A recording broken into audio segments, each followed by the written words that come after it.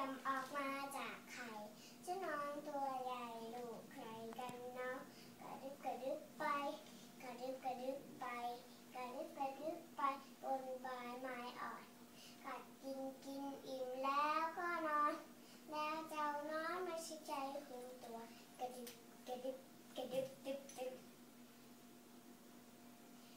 ตุ้มตุ้มเตรียมเตรียมออกมาจากไข่เจ้านอนตัวใหญ่ลูกไข่กันเนาะกระดึบกระดึบไป ก ระดึบกไป บนใบไม้อ่อน กัดกินกินอิ่มแล้วก็นอนแล้วเจ้าน้อยไม่ใช่ใจคุณตัวกระดึบกระดึบกระดึบกระดึบกระดึบกระดึบกระดึบ